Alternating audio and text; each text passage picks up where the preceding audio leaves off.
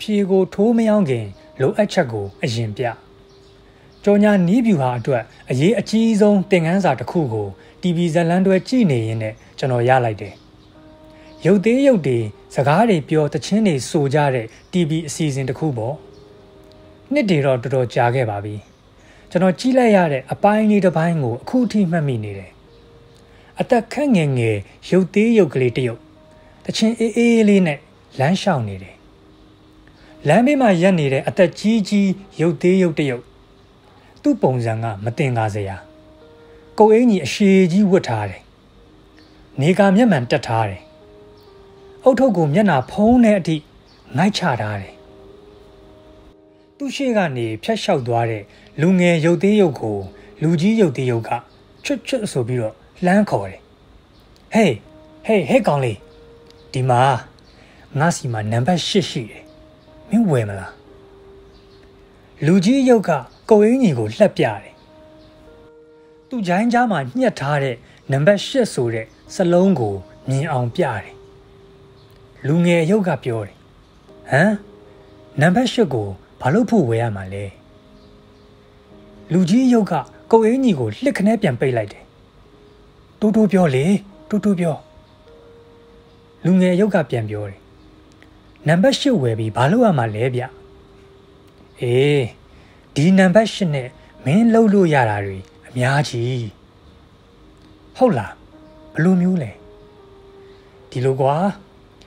နံပါတ်9နဲ့နံပါတ်6ကြားမှာဘာနံပါတ်ရှိသလဲဆိုတာမင်းသိချင်တယ်ဆိုပါစို့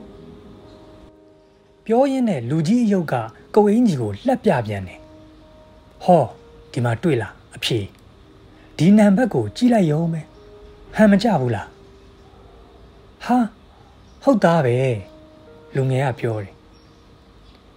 โอเคနောက်တစ်မျိုးလေးနဲ့လေးပေါင်းရင်ဘာရတယ်လဲမင်းသိကျင်တယ်ဆိုပါစို့ကိုအင်းကြီးကိုလှက်ပြလိုက်တယ်ဒီမှာကြည့်လိုက်ရုံပဲလွယ်လွယ်လေးဟုတ်တယ်နော်လွယ်လိုက်တာနေရောမပြီးသေးဘူး နှစ်ကိုလေးနဲ့မြောက်ရင်ဘာရတယ်လဲသိကျင်သေးလား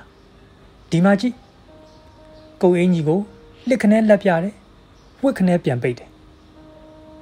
မလွယ်ဘူးလားအေးဆေးပဲလူငယ်ကပြောတယ်မိုက်တယ်ဗျာအဲ့ဒီနံပါတ်8ကျွန်တော်ရောင်းဗျာအေးရောင်းမှာပေါ့နေအောင်ဒီနားမှာလူရှုပ်တယ်လာဟိုဘက်လမ်းကြားတဲ့ကိုလိုက်ခဲ့ ဇလန်းလေးရတော့ဒါပါပဲဒီဇလန်းလေးကနေရလိုက်တဲ့သင်ခန်းစာကရှင်းပါတယ်ဘာကြောင့်ဒီပစ္စည်းကိုလိုအပ်တယ်လဲဆိုတာကို မသိသေးတဲ့၍လူတွေကအဲ့ဒီပစ္စည်းကိုဝယ်ခြင်းမှာမဟုတ်ဘူးဒါကြောင့်အဖြေကိုမယောင်းခင်မှာလိုအပ်ချက်ကိုအရင်ရောင်းဖို့လိုတယ်ဆိုနီကုမ္ပဏီရဲ့တွဲဖက်တီထောင်သူတူဖြစ်တဲ့အာကီယိုမိုရီတာကလည်းဒီအချက်ကိုနားလည်တယ်သူဒုတိယကမ္ဘာစစ်ကြီးအပြီးမှာ အာကီယိုမိုရီတာက electronic ပစ္စည်းဈေးကွက်ထဲကိုဝင်ဖို့ကြိုးစားတယ်။ American စစ်တပ်စီကနေတိတ်ခွေအတန်သွင်းဆက်တွေကိုဈေးပေါပေါနဲ့ဝယ်ပြီးဂျပန်မှာပြန်ရောင်းဖို့စီစဉ်တယ်။ဒါပေမဲ့ဒီဆက်တွေကိုဘယ်နေရာမှာသုံးရမလဲမသိကြတော့ဘယ်သူမှစိတ်မဝင်စားကြဘူး။ဒါနဲ့အာကီယိုမိုရီတာကလက်ဆွဲစာအုပ်တအုပ်ရေးတယ်။စာအုပ်ထဲမှာဒီအတန်သွင်းဆက်တွေကို ဘယ်နေရာတွေမှာသုံးရမယ်ဆိုတဲ့နီလန်ပေါင်းများစွာထည့်ရေးပေးလိုက်တယ်။ပြီးတာနဲ့အဲ့ဒီစာအုပ်တွေကိုစာတင်ကျောင်းတွေကိုလိုက်ဝေတယ်။အဲ့ဒီတော့မှအာကီယိုရဲ့အတန်သွင်းဆက်တွေကိုကျောင်းတွေကအလူအယက်ဝယ်ကြတာ။ဘယ်လိုသုံးရမလဲဘယ်နေရာမှာအသုံးဝင်တယ်လဲဆိုတာသိသွားကြပြီကို။ Apple ကုမ္ပဏီတည်ထောင်သူ Steve Jobs ကလည်းဒီအချက်ကိုနားလည်တဲ့သူတစ်ယောက်ပဲ။အသစ်ထုတ်မဲ့ကုန်ပစ္စည်းတစ်ခုကို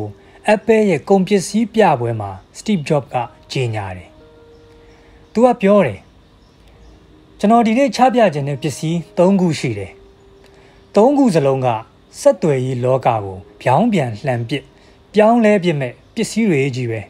။ပထမတစ်ခုကတော့စက်သွယ်ရေးကရိယာကျွန်တော်တို့တွေတယောက်နဲ့တယောက်ဆက်သွယ်ပြောဆိုနေကြတဲ့ပုံစံတွေကိုအကြီးအကျယ်ပြောင်းလဲပေးလိမ့်မယ်။ဒုတိယတစ်ခုကတော့ graphic ပုံထွက်သိပ်ကောင်းတဲ့ video game လောကကိုကင်လှုပ်ပြမဲ့အရာ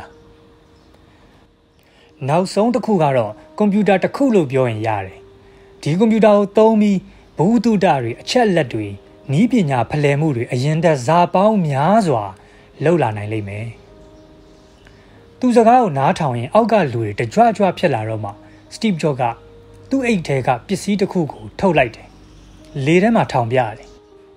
ကယ်တမ်းကျွန်တော်ချပြချင်တာပစ္စည်း၃ခုမဟုတ်ဘူးဒီတစ်ခုတည်း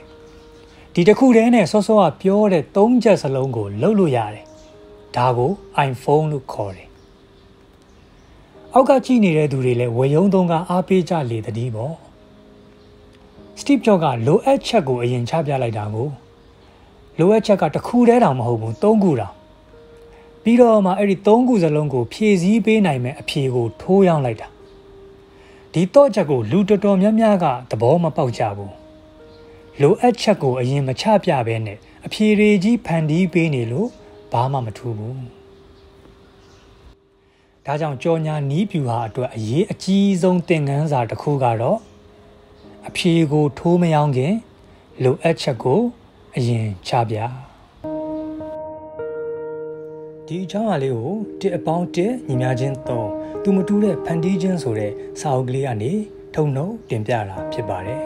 အခုလိုဗီဒီယိုလေးတွေကိုအမြဲအားပေးခြင်းနဲ့ဆိုလို့ရှိရင်တော့ကျွန်တော်ရဲ့ YouTube channel လေးကို subscribe လုပ်ထားဖို့အတွက်ဖိတ်ခေါ်ပါတယ်အားလုံးကိုကျေးဇူးတင်ပါတယ်